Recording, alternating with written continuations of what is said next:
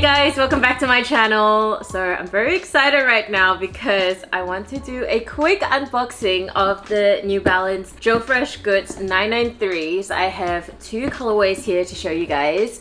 Can you guess which ones they are? Okay, I'm just gonna tell you. The one that I wanted the most is the powder pink colorway but I think that's the Joe Fresh Goods exclusive colorway. So I'm probably going to have to pay resale for that but this is the performance art collection.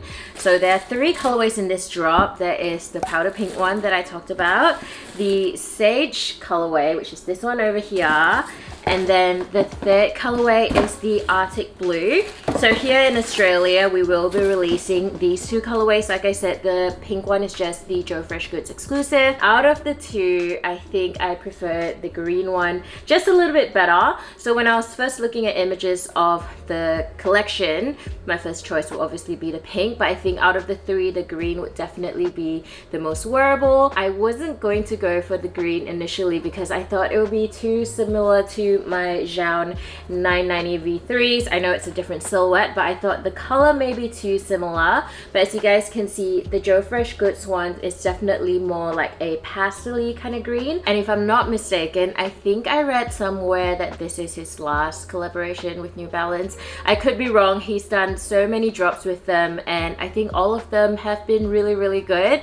And these I just absolutely love. But yeah, I thought I'll quickly just show you guys the color difference between between the two. This is definitely more of a darker olive and this is very nice and pastely. So let's get into the details on this sneaker. In terms of Joe Fresh Goods branding, you can see here on the heel of the sneaker, JFG obviously stands for Joe Fresh Goods. You'll also notice on the insole there is the Joe Fresh Goods and New Balance co-branding and it also says Performance Art. Moving on to the upper of the sneaker, I have to say that the quality on these sneakers look really good. It has a mix of nubuck suede and mesh and the suede just looks really really nice and buttery and of course I love the colors on these. With the Arctic blue colorway you can see it's much more of a vibrant color and it would definitely add a pop of color to your outfit. I think these look so good with brown pants. I'll show you guys what I wore in my b-roll. It paired perfectly with these Beams painter pants that I just got recently. The brown and the blue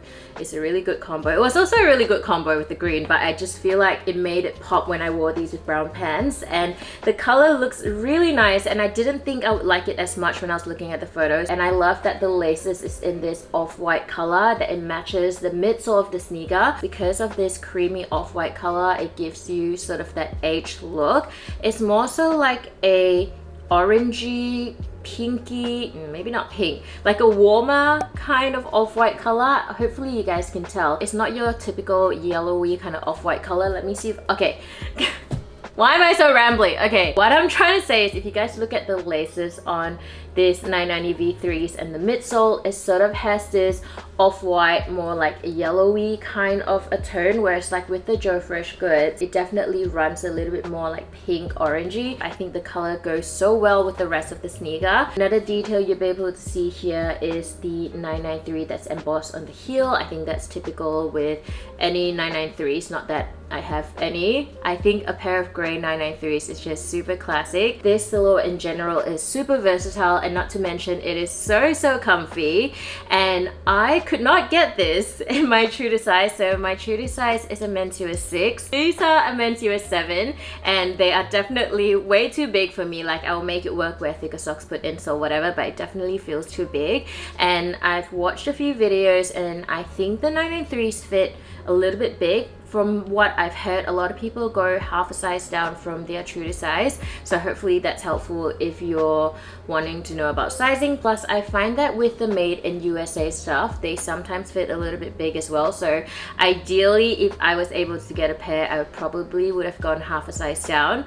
But like I said, I could only get a men's 7, so I'm happy with that. Okay, I'll just make it work. Nobody will know that these shoes are too big for me. In terms of spare laces, they both come with laces that matches the sneakers. So if you don't like the off-white color that it comes laced with, you can always go with like the tonal kind of look. I think that might look pretty fresh, but yeah, I cannot wait to wear these. I think the green one is definitely the one to get okay well depending on which colors you like but if you can't decide I think the green one are the ones to go for. With the tags you guys can see it has the Joe Fresh Goods and New Balance co-branding here and it says made to wear well. And I know that Joe Fresh Goods did like a charity raffle to release the sneakers in the States and I think that's really cool and I'm pretty sure if you want to enter the raffle you have to bring in some sort of art supply or books to donate in order to enter the raffle and I think that's such a good thing. I wish I was able to enter the raffle like in person but here in Australia they're just gonna run online raffles for them so Up There Store is gonna do an online raffle. I'll definitely link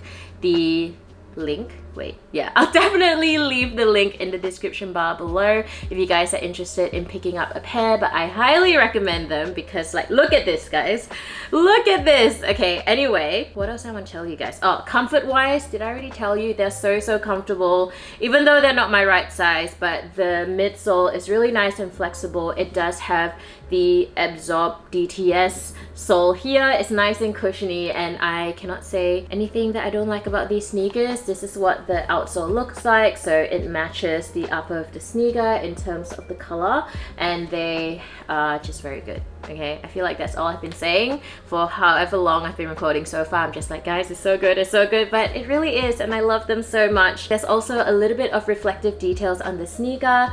I'm not sure if you guys can tell but the n logo here is reflective as well as this tiny little portion here just below the laces. I don't really know what this section is called, but overall the sneakers are so beautiful. The quality is on point, they're super comfortable. And like I said, I feel like the 993 silhouette is just really versatile. I know this collection may not be for everyone in terms of the colorway, but I absolutely love them.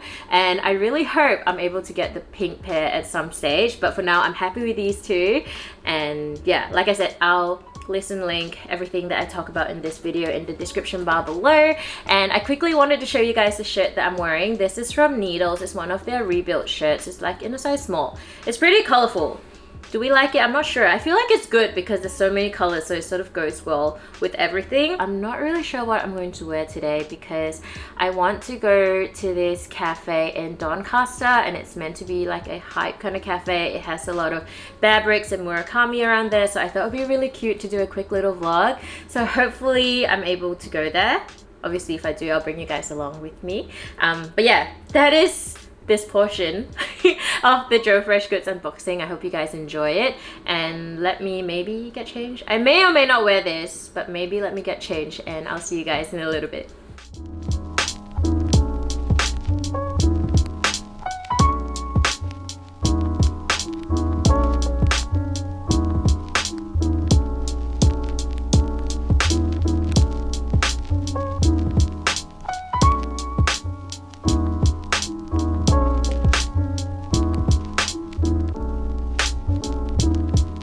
Everything in this store you can purchase. So if you want to buy like a thousand percent Bearbrick, you can. So there's like a little iPad there and they show you like the prices. It's pretty cool.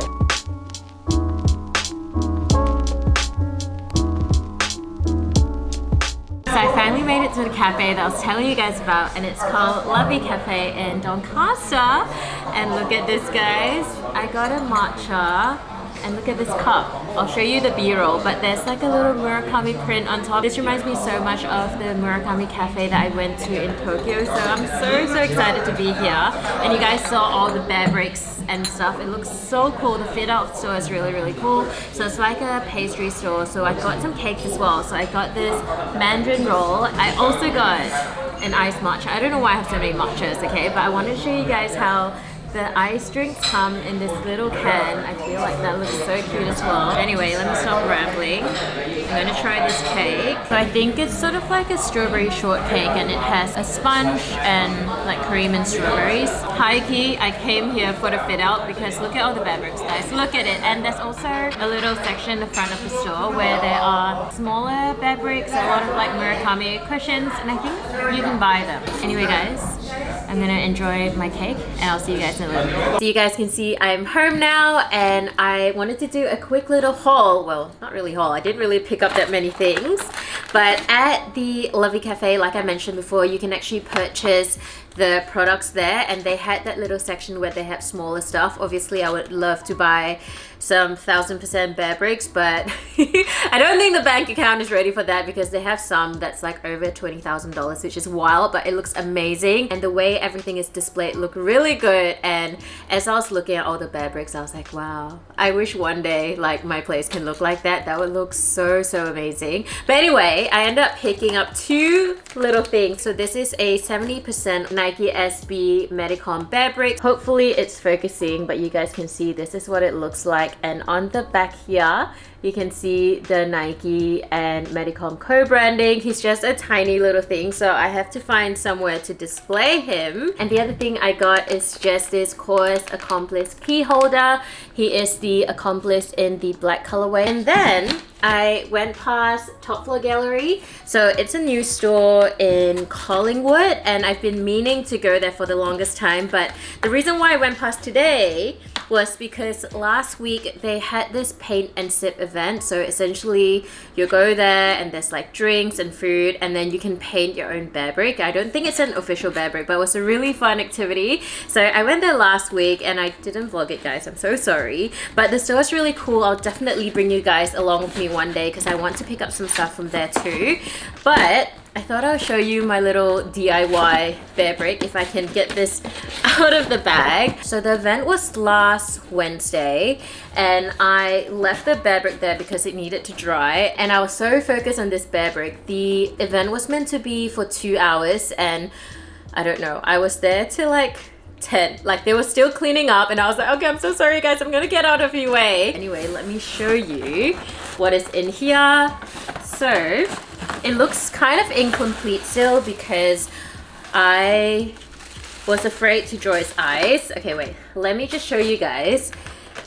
Do you know what I was trying to do? Like, does it look familiar? Look at the colorway. I was essentially trying to draw this duck because you guys know how much I love the human-made KAWS duck. So I was trying to go off that color, but yeah, in person it definitely looks a little bit more vibrant than the actual duck over here. I was going to draw his eyes but I got too nervous and I ran out of time and also if you paint it with the brushes sometimes you may not get like a really clean line. So I decided that I'll wait for it to dry and then I'll come home and use like a marker like a sharpie to draw on the eyes so that I can be more precise. So hopefully I'll do that one day. I had so much fun and after I went home that night I was thinking to myself like, wouldn't it be cool if I did like a CPFM one? But yeah, anyway guys, I hope you enjoyed this video and I will list everywhere that I visited down below as well. Well, I pretty much just went to the cafe, but it was so cute. If you guys love Bearbricks and just like a really cute place to check out, highly recommend Lovey Cafe. And yeah, that's pretty much it for me today. I hope you enjoyed this video. If you did, don't forget to give it a big thumbs up. Please subscribe to my channel if you haven't already and I'll see you guys really, really soon. Bye.